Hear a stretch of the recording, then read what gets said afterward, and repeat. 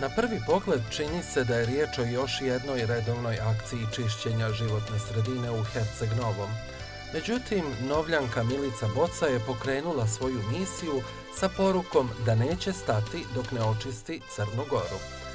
Sve je počelo sasvim slučajno kada se Milica jednog dana vraćala sa posla putem od Sušćepana do Ratiševine i zapazila mnoštvo bačenih plastičnih kesa. Optimista i zaljubljenik u čistu prirodu odlučila je da pokrene akciju čišćenja naselja gdje živi. Milice, nije li to veliki zadatak kada kažete da nećete stati dok ne očistite Crnu Goru? Pa i jeste i nije. Ja sama ne, ne bi mogla da očistim Crnu Goru, ja to sama ne mogu, ali sa ljudima koji dijele moju ide, ideju, vrlo je moguće, jer sve je u energiji. Ono, ono š, naj, najbitnija je ta pozitivna energija koju ljudi donose kada dolaze na akcije, tako da ta, ta pozitivna energija koja se širi utiče na ljude, tako da su promene male, ali vrlo vidljive na neke dugoročne staze.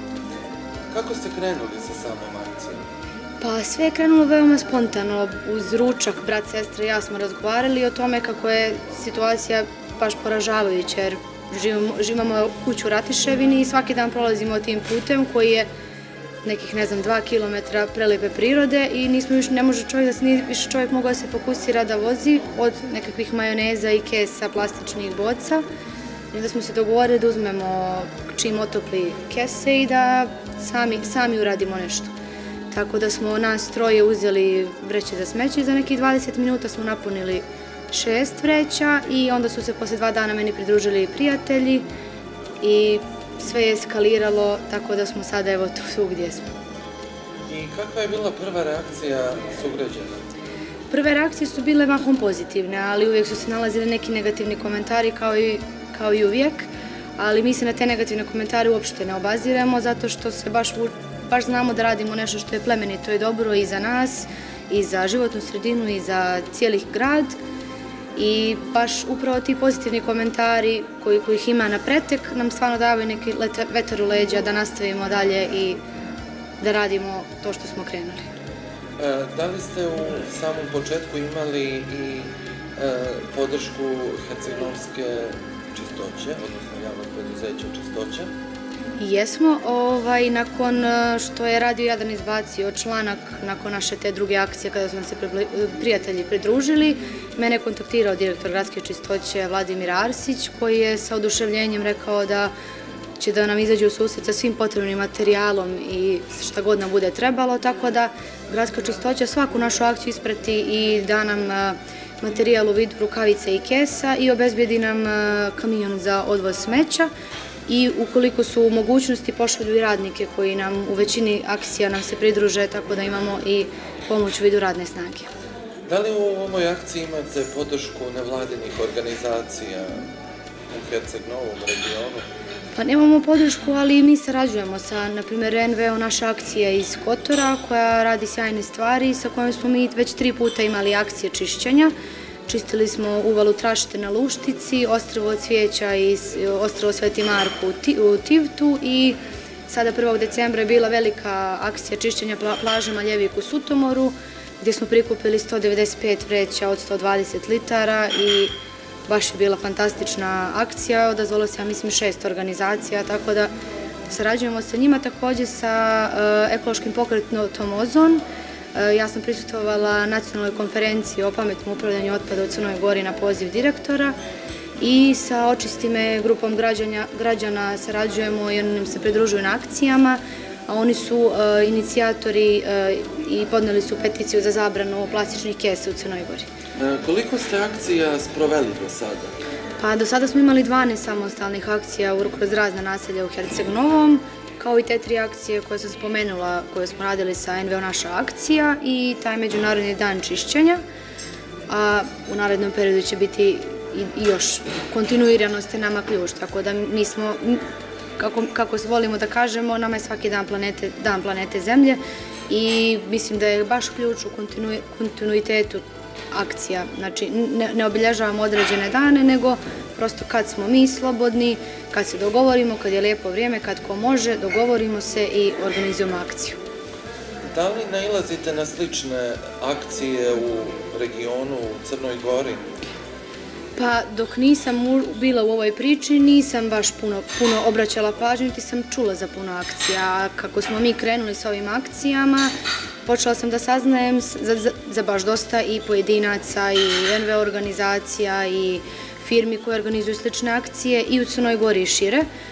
To je, na primjer, naša akcija iz, eh, iz Kotora koja radi sjajne stvari sa mladim volonterima, što su pored akcija čišćenja, razne vrste renovi, renoviranja igrališta dječjih, eh, volonterske podrške za bilo kakve humanitarne akcije. Tako da eh, nismo ni svesni koliko, koliko se lepih stvari dešava u Crnoj Gori, ali prosto u, u moru crne hronike i svega što nas okružuje nekako ne možemo ni- niti da, da saznamo dok ne uđemo negdje u tu materiju i dok, dok ne počnemo da se krećemo u tim krugovima. Zahvaljujući vašim aktivnostima postali ste i zaštitno lice e, kampanje koja se zove Budi e, primjer, uključi se, uz podršku naravno evropskih institucija. U čemu se sastoji ta podrška?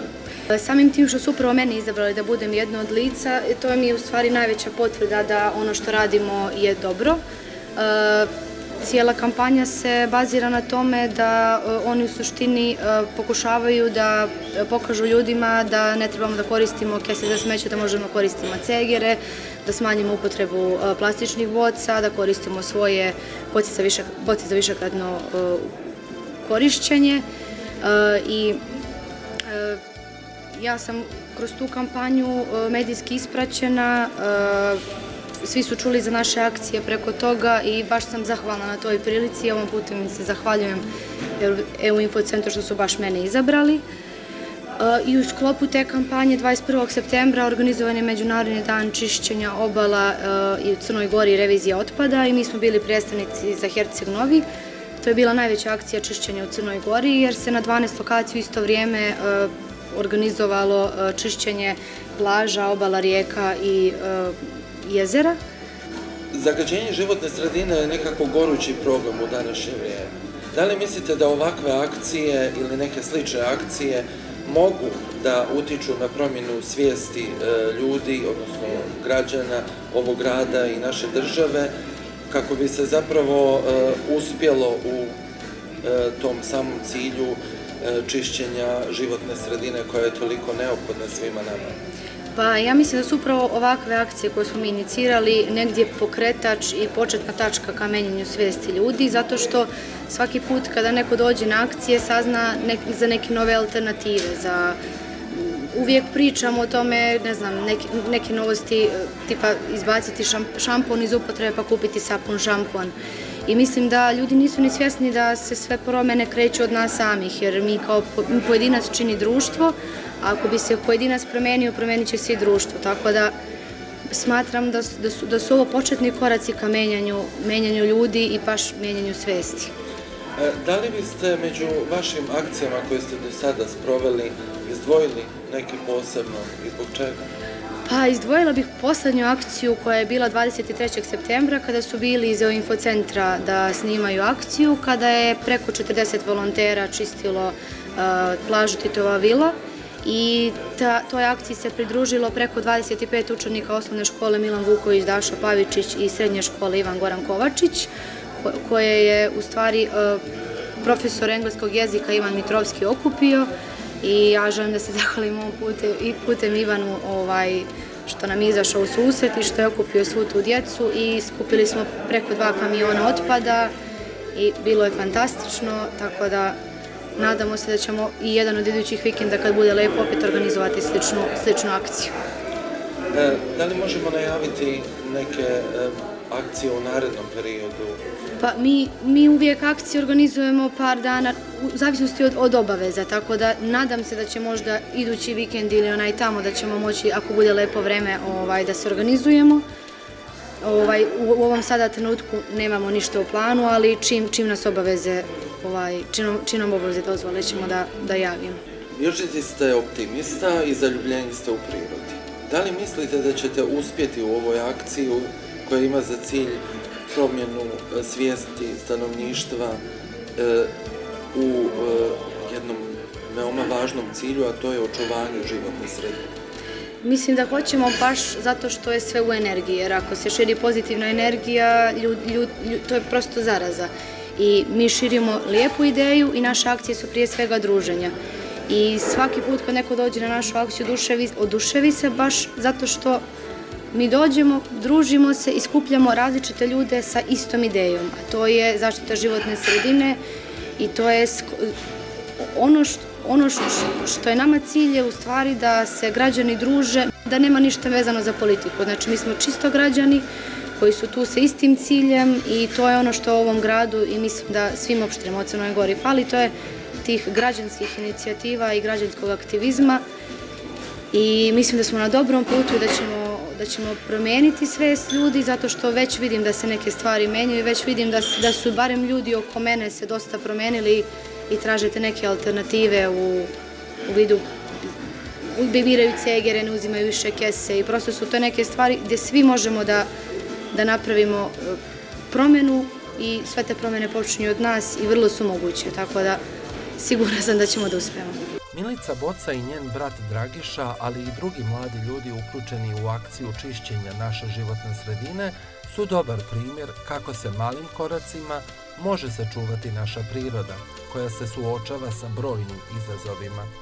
Ovim, ali i drugim sličnim akcijama, naš grad i okruženje može postati sredina u kojoj ćemo uživati u svim blagodatima prirode na koje često zaboravljamo.